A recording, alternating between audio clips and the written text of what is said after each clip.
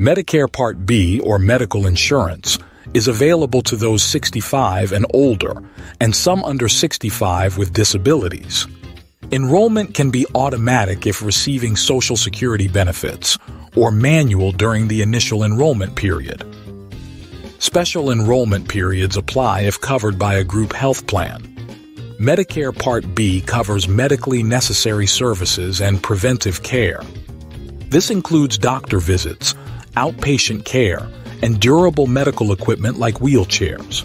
Preventive services include annual wellness visits, screenings for conditions like cancer and diabetes, and vaccinations. These services help maintain health and detect illnesses early. Medicare Part B involves costs such as a monthly premium, which is $174.70 in 2024, and an annual deductible of $240. After meeting the deductible, beneficiaries typically pay 20% co-insurance for most services. Some preventive services are fully covered if the provider accepts Medicare assignment. Medicare Part B is not free.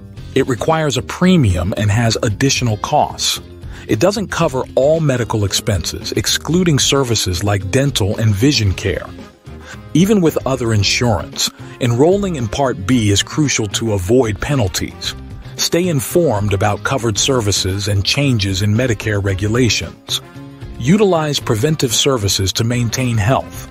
Consider supplemental coverage like Medigap or Medicare Advantage to cover costs not included in Part B, such as deductibles and additional services. We encourage you to seek professional assistance for all Medicare-related decisions.